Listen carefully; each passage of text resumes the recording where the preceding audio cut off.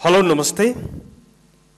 आज मैले sentences of daily use randomly हामी जसरी बोल्छौँ सधैँ चाहिने वाक्यहरूको एउटा लिस्ट बनाएर लिएर आएको छु। I hope it will be helpful for you okay now let's see the first slide let's see in full mood अब तपाईँ खाना खाइरहेको हुनुहुन्छ फोन आयो।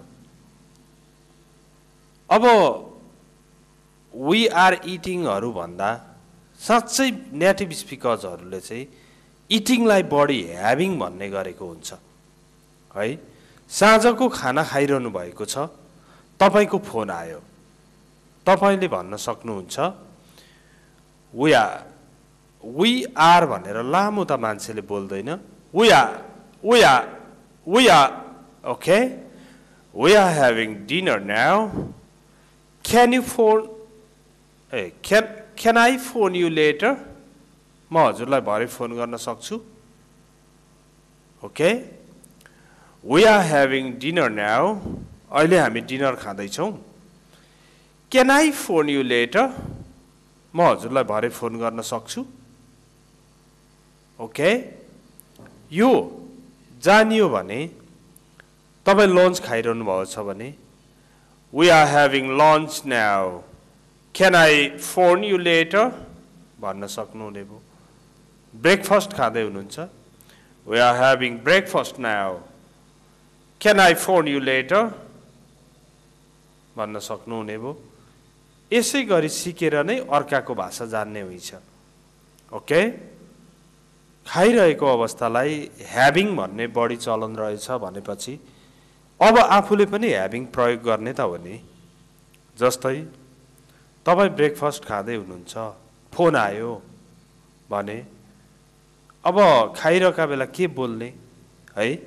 अब तपाईँले भन्नुहुन्छ we are having breakfast now can I phone you later म हजुरलाई भरे फोन गर्न सक्छु। ओके। एउटा कुरा त बुझ्यो। यस्तै गरी बोल्दो रहेछन् नेटिभ स्पिकर्सहरूले भनेर सिक्दै जाने हो। Now two number please be quiet यो Q U I E T quiet भनेको शान्त क्युयुआइटिई भन्यो भने चाहिँ पुरा क्वाइट कोल्ड भन्यो भने एकदमै धेरै कोल्ड भयो। तर यो क्युयुआइइटी भनेको चाहिँ शान्त प्लिज बी क्वाइट शान्त हो। हल्ला नगर शान्त हौ। I am listening to the news. म समाचार सुनिरहेको छु।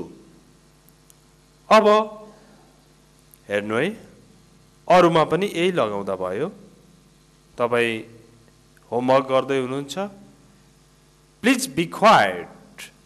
I am doing my homework. I'm यहाँ पनि आइम छ. I'm okay I'm listening to the news म समाचार सुन्दै छु अब टेलिभिजन कसैले पनि हेरेको छैन त्यसै बजिराखेको हुन्छ कहिलेकाहीँ। त्यस बेला can you turn off the television no one is watching it त्यो टेलिभिजन टर्न अफ गर्न सक्नुहुन्छ? बन्द गर्न सक्नुहुन्छ। No one is watching it कसैले पनि हेरिरहेको छैन। Can you turn off the television no one is watching it कोही पनि हेरिरहेको छैन। ओके न्याउ तपाईँले खोलामा कोही पौडी खेलिराखेको देख्नुभयो। आफूले चिन्नुहुन्न भने समबडी समवन लाउनु पर्छ अब राम पौडी खेलिरहेको छ भने त राम इज स्विमिङ भन्दा भइहाल्यो। तर अरू नै मान्छे हुने बित्तिकै कि समवन लाउनु पर्यो कि समबडी लाउनु पर्यो। Look somebody is swimming in the river हेर त कोही मान्छे खोलामा पौडी खेलिरहेको छ?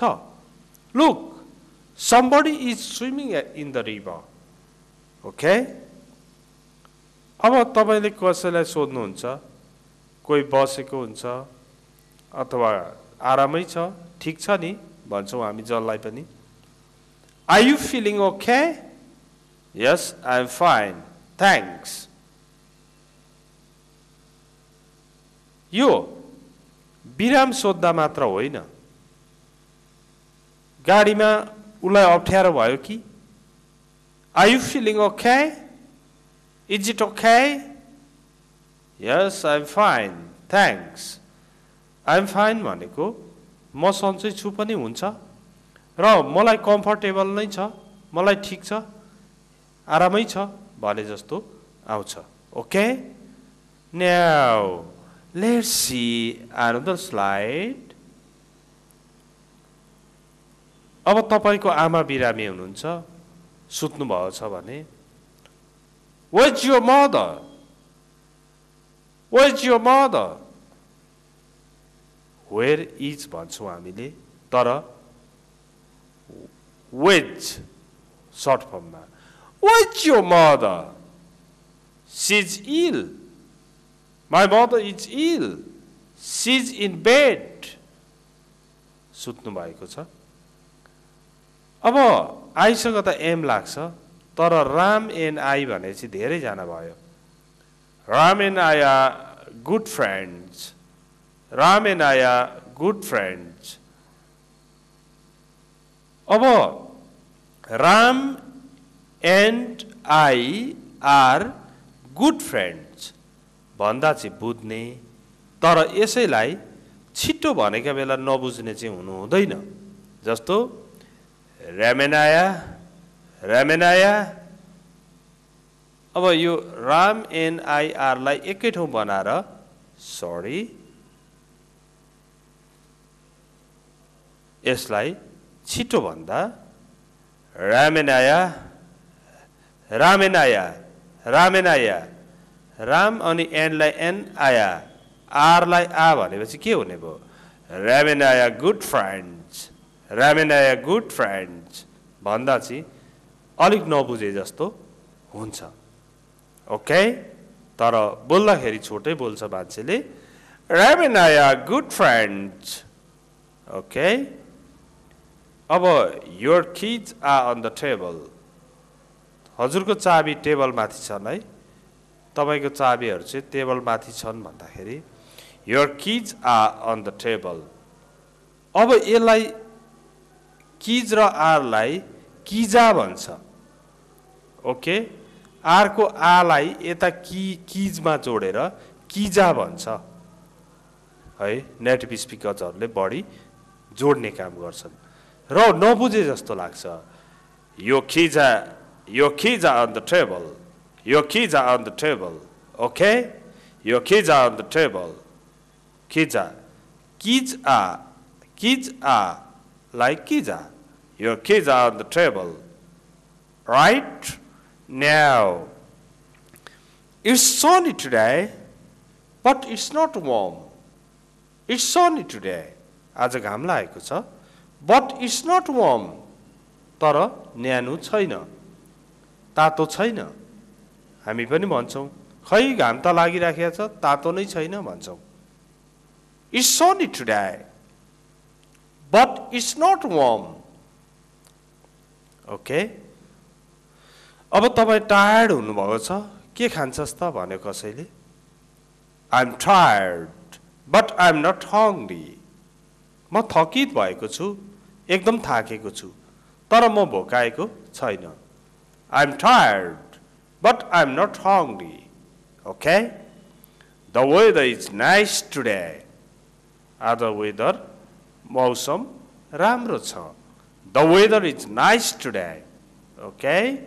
Now, let's see another slide. It's mini conversation, you know, short dialogues. यो प्रत्येक नम्बरमा एउटा डायलग छ। तपाईँले काहीँ जाँदा भन्नुहुन्छ। मैले ढिलो गरेँ होला नि भन्नुहुन्छ। होइन तपाईँ टाइममै आउनु भएको छ। ढिलो भएको छैन भन्छ। त्यस बेला एम आई लेट भनेर सोध्नु पर्दो रहेछ न यु अन टाइम यहाँ टाइमको टिआइएमई काटिएछ सरी न on time. You are on time. You र आरलाई एकै ठाउँमा. You are on time. No, you are on time. अह ढिलो भएको छैन तपाईँ समयमै आउनु भएको छ I late? No, you are on time. Okay? Number two dialogue. Is your mother at home? तिम्रो आमा घरमा हुनुहुन्छ? न सिच आउट बाहिर जानुभएको छ। इज यो mother at home no she's out she's out she's out she's out she's out भने जस्तो सुनिन्छ। त्यही भएर त नबुझे जस्तो लागेको हो। तर यस्तै प्र्याक्टिस गर्दा गर्दै बुझ्न थालिन्छ। Okay? Is your mother at home no she's out she's out भनेको सी इज आउट बाहिर हुनुहुन्छ। Is it cold in your room तिम्रो कोठामा चिसो छ? यस अ लिटल अँ हल्का चिसो छ। Yes a little is your car blue तिम्रो कार निलो रङको छ। न इट्स ब्ल्याक सिधै उत्तरमा जाने। No my car is not blue भन्नतिर नजाने। कारलाई इट भन्ने अनि अझ अपोस्टपी एस लगाएर इट्स बनाउने अनि कस्तो छ त्यो भनिदिने ब्लू नभन्ने फेरि। Is your car blue no it's black no it's not blue भन्यो भने त अनि कस्तो कलरको छ त भनेर फेरि सोध्नुपर्ने हुन्छ। त्यस्तो गर्नुभन्दा त तपाईँको कार चाहिँ ब्ल्याक छ। तर तपाईँले इज योर कार ब्लू? भन्दा no my car is not blue. भन्नुभयो भने फेरि what colour is your car भनेर फेरि सोध्नु पर्यो। त्यस्तो सोधिरहनु नपरोस्। Is your car blue? No it's black. एकैचोटि उत्तर आयो। ओके? अब who is that woman who is that woman भनेर बोलीमा स्पोकन इङ्ग्लिसमा कसैले पनि हुइज द्याट वुमन भनिरहँदैन। हुज भन्छ। हुइजलाई who's who's that woman my aunty my aunt okay It's the end of this short video. I hope it was useful for you. Okay? Please don't forget to subscribe this channel share it to your friends, like and comment. I will reply your comment as soon as possible. Okay? You can comment if you are confused, and I'll certainly reply your comments. Good luck. Bye.